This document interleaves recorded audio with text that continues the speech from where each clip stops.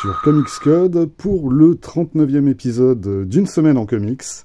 Encore un épisode en retard puisque le dernier date d'il y a trois semaines et je suis pas sûr que ça s'arrange dans les prochaines semaines vu que après les sorties de la semaine prochaine, euh, les éditeurs partent en vacances et on aura quasiment plus de nouveautés avant le début de l'année prochaine.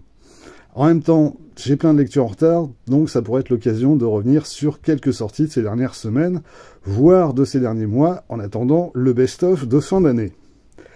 Avant d'entrer dans le vif du sujet, j'ai une annonce à faire, au cas où vous n'auriez pas vu le message que j'ai posté hier, et pour ça, j'ai demandé à mon camarade Quack Kent de me rejoindre. Bonjour Quack, Quack Kent, alias euh, Super Canard. Ah merde, j'ai encore révélé ton identité secrète. Euh, bon, en même temps, on s'en fout, euh, t'as pas de famille à protéger. J'ai bouffé ta frangine en parmentier il y a 15 jours.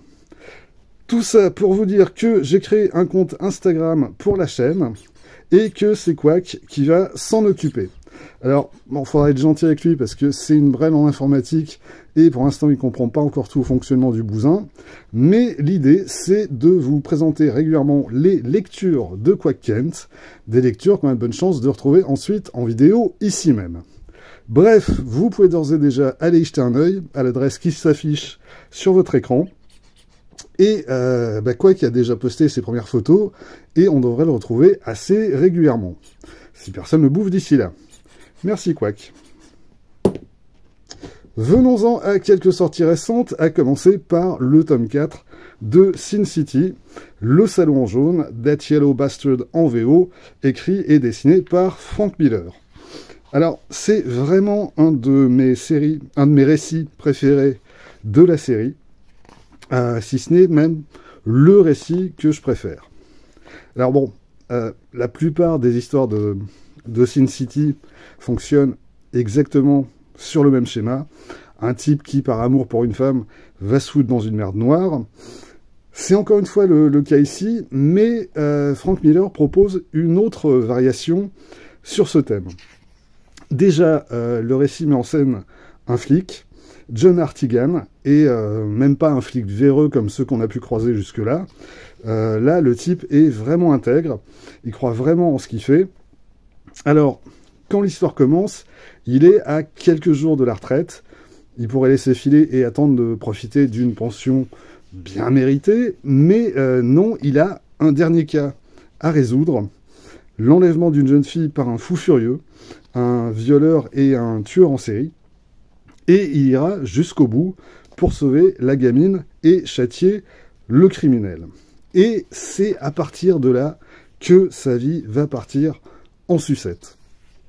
Comme je le disais, euh, le salon en jaune, c'est une histoire d'amour, mais cette fois, c'est plutôt une histoire d'amour euh, paternel.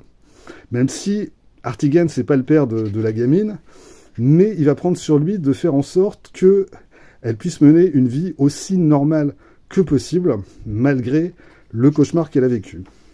Et eh ben, Artigan, il va prendre, mais sévère. Vraiment. Artigan, c'est peut-être la figure la plus tragique de tout Sin City. C'est euh, le type qui a tout fait pour rendre justice et qui va s'en prendre plein la tronche. C'est absolument terrible ce qui va lui arriver.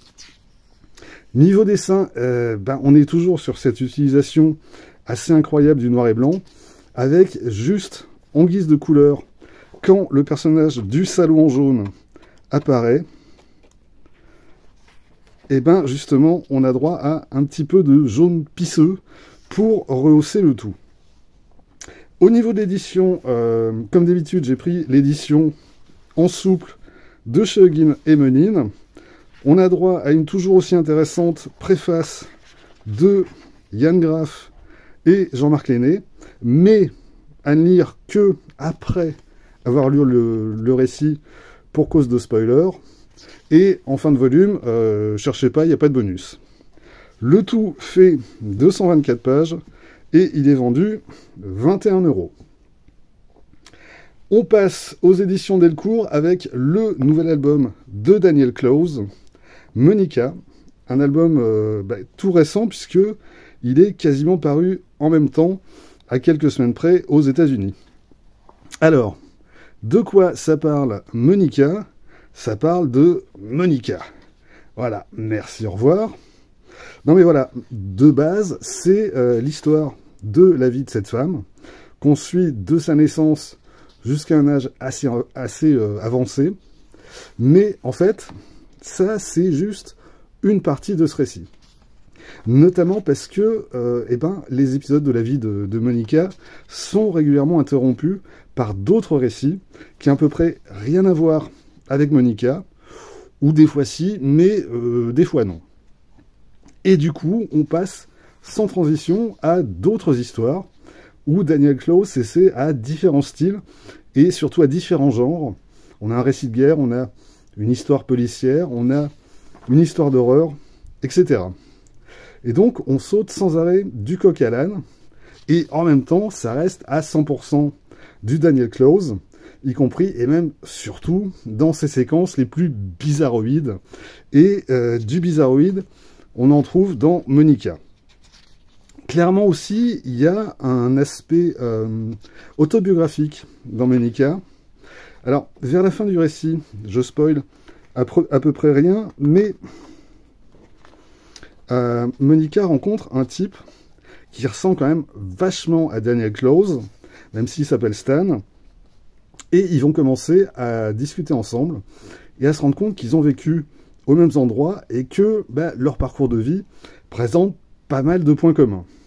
Bref, euh, Monica apparaît du coup comme une sorte de vie parallèle de Daniel Close, qui reste dans le cadre de la fiction, mais qui en même temps fait écho à des choses beaucoup plus personnelles. Alors, ceci dit, il n'y a pas besoin de savoir quoi que ce soit de la vie de, Daniel Close. Moi-même, j'en sais pas grand-chose. L'intérêt de, Monica, c'est à la fois le mélange permanent des genres. Ça peut être déroutant, mais bah, en ce qui me concerne, ça fonctionne vraiment bien. Et puis, l'autre intérêt, c'est le parcours de, vie de Monica euh, en lui-même. Et euh, là-dessus, par contre, je vais en dire le moins possible pour ne pas spoiler. Dans les travaux récents de, de Daniel Close, j'avais pas été totalement emballé par Patience, qui était sorti il y a hum, six mois. Mais euh, Monica, là, ouais, j'aime vraiment beaucoup. Alors, l'album fait 108 euh, pages, grand format, et il est vendu au prix de 21,90 euros. On passe ensuite chez Urban Comics pour le 11e tome de Saga de Brian K. Et Fiona Staples. Euh, alors celui-ci, je vais aller très vite parce que bon, 11e tome, donc euh, pour qui n'a jamais lu Saga, ça va être compliqué d'en parler sans revenir sur les 10 tomes précédents, parce que c'est vraiment une série feuilletonesque, c'est une histoire en flot continu depuis numéro 1, donc euh, c'est à peu près totalement impossible de raccrocher les wagons en cours de route. Et puis, ben, pour celles et ceux qui ont lu les les 10 tomes précédents, euh, si je commence à rentrer dans le détail de ce qui se passe dans ce tome, il y a quand même un gros risque que je révèle des trucs et que je spoil comme un gros bourrin. Donc, euh, moins j'en dirai et mieux ça vaudra. Là, en fait, bah, c'est surtout pour vous rappeler que le 11e tome est sorti, et donc une visite chez votre libraire s'impose. Est-ce que c'est toujours aussi bien? Euh, Oui et non. Oui, parce que, en ce qui me concerne, je suis toujours aussi attaché aux personnages principaux de la série et que j'ai envie de les accompagner jusqu'au bout. Non, parce que forcément, au fil des tomes, il y a une certaine routine qui s'est installée, malgré tous les morts, malgré tous les coups de théâtre. On reste sur une technique de narration qui reste un peu toujours la même depuis le début. Donc, forcément, on est moins surpris. On peut avoir un, sentiment de répétition, mais en même temps, euh, les personnages continuent d'évoluer en particulier Hazel et Écuyer, évidemment, et bah, même le, côté assez foutraque des, planches de, Fiona Staples et son imaginaire qui est vraiment très singulier, là non plus, il n'y a plus vraiment de surprise. En tout cas, pas à la hauteur de celle qu'on a pu ressentir dans les premiers épisodes. Mais euh, ça reste une lecture que j'aime vraiment beaucoup, qui fonctionne avant tout sur l'attachement qui s'est créé avec les principaux personnages de la série, et que, en ce qui, me concerne, j'ai bien l'intention de mener jusqu'au bout. Si vous ne connaissez pas, Pour découvrir, euh, Urban Comics propose un pack découverte avec les deux premiers tomes, qui est vendu 20 balles. À ma connaissance, c'est toujours dispo. Et euh, bah, ça me semble le meilleur moyen de tester si c'est une série susceptible de vous plaire ou pas. Ce tome 11, lui, il fait 152 euh, pages. Pas de bonus, hormis les couvertures d'origine qu'on retrouve en ouverture de chaque épisode. Et il est au prix de 17 euros. Pour finir, retour chez Delcourt avec Chroma, un récit complet euh, écrit et dessiné par Lorenzo de Felici. Alors, Lorenzo de Felici, c'est un artiste euh, italien que vous connaissez peut-être euh, notamment pour sa collaboration avec Robert Kirkman sur la série Oblivion Song, qui est paru chez Delcourt en six tomes. D'ailleurs, aux États-Unis, De Felici et Kirkman ont depuis lancé ensemble une autre série qui s'appelle Void Rivals. C'est pas encore sorti en France, mais je suis certain que Delcourt nous proposera ça dans le courant de l'année prochaine. Et puis, avant ça, il a aussi pas mal bossé en Italie et en France, notamment sur les séries euh, Draka ou euh, Infinity 8. Et là, euh, ben, je crois que c'est la première fois qu'on le retrouve au scénario en plus du dessin pour une histoire de fantasy post-apocalyptique. Un monde futur où l'humanité a été massacrée par des monstres sortis on ne sait d'où, et il reste que à peine un peu plus d'un millier de survivants qui sont réfugiés dans une forteresse baptisée la Cité Pâle. Et c'est un univers clos, gris, austère, et d'où les couleurs ont été bannies. Parce que dans cet univers, la couleur, c'est la mort. Littéralement. Parce que les monstres qui ont massacré les humains sont attirés par les couleurs. En revanche, ils sont aveugles au noir et au blanc, et donc, pour survivre, il faut faire disparaître toutes les couleurs, et tout et tout le monde est recouvert d'une sorte de, mélange argileux pour leur donner cette apparence grisâtre. Et puis, euh, au cours d'une cérémonie rituelle, qui consiste à, reconstituer la mise à mort d'un de ces monstres, il y a un gamin qui s'appelle Z qui va découvrir quelque chose.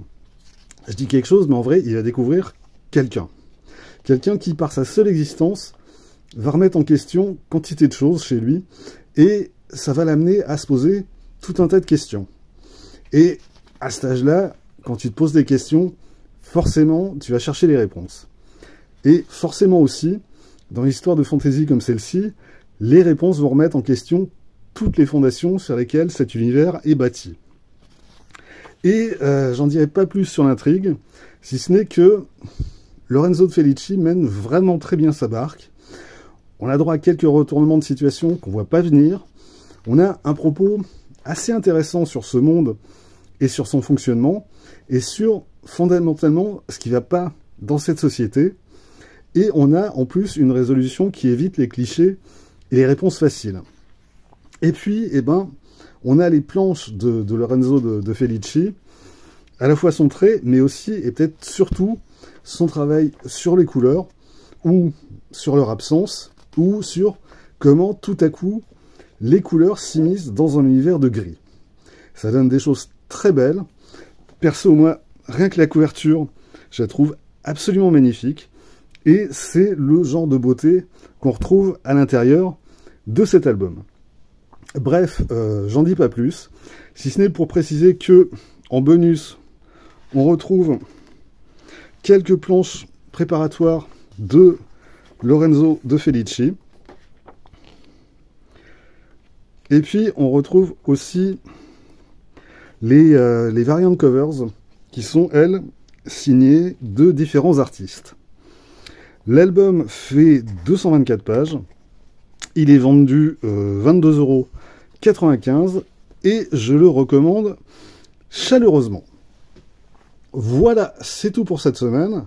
Rendez-vous très vite pour la suite. D'ici là, vous pouvez vous abonner à cette chaîne, laisser un commentaire, partager cette vidéo sur les réseaux sociaux. Vous pouvez aussi désormais donc retrouver les lectures de Quack Kent sur Instagram. Et vous pouvez surtout, surtout, lire des comics. Soyez sages et à bientôt.